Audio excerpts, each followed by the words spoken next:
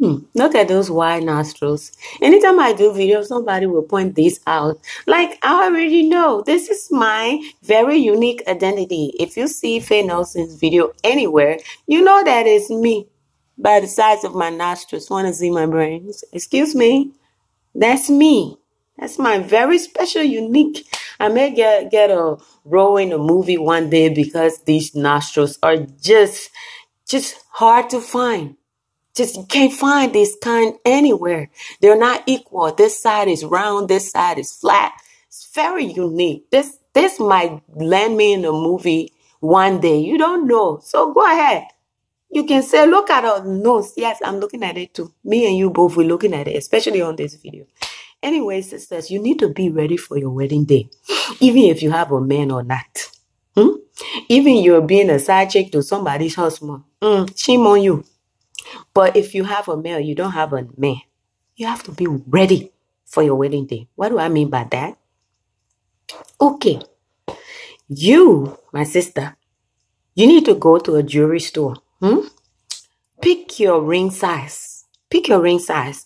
And then it doesn't matter where you want to search for the kind of engagement ring and the wedding band that you want. Search. Find the one that suits your taste. Find the one that you like. Find the one that will make you feel like you have finally arrived when them then put it on your finger, you know. Search everywhere. You find the one that you like, right? You got your ring size and you found at least three options for the engagement ring, three options for the wedding band. You found those six pictures. Once you got that, you go on vistaprint.com to prepare your business card for your future wedding goals. You have to do that. You go on Vista.com.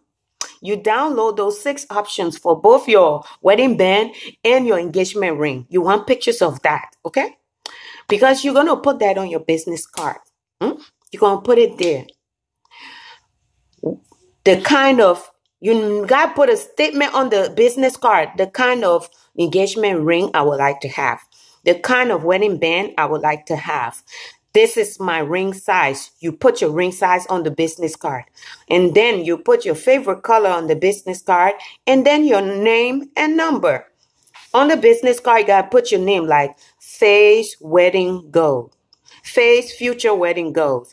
On the back, you put a nice sexy picture of you and then say your future wife to be. You prepare your business card like that. You know what you're gonna do with it? If like any man look at you in a way that you can interpret it as man I think he likes me and I think he wants me to be his wife. If he just so much look at you in such a way that he gives you butterflies, walk up to him and say, uh, I like you too. Here's something little for you. Flip the business card, give it to him. Okay? Yeah, he said, just hold on to it just in case. Mm-hmm. And then if some, if a man approaches you and he says he's like you, give him your business card. Let him know these things about you in advance. While he's trying to get to know you, let him at least have the business card. When it's time, no questions asked, though, you know. And then if he definitely professes that he wants to marry you, flip, give it to him. If he say, if any of them ask, what is this for? Say it's just for future reference if you feel that, you know, I'm the one for you, then you can refer back to this business card and no questions asked. You will be ready to so to to to to throw out a surprise engagement. You will be ready to engage me. You will be ready to marry me. You will know what kind of ring I want for engagement ring. You will know what kind of ring I want for wedding band. You will know my ring size. You will know my favorite color. If you want to buy me any gift, you will know my number when you're ready to date me, whatever.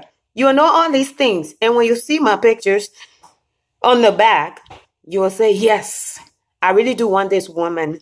You know, and you see the topic, you say, Fay's or Sylvia's future wedding goals. You know for a fact you can't go wrong. So don't take it to be like I'm pressuring you or I'm being desperate or I'm pushing you, you know? Just take it.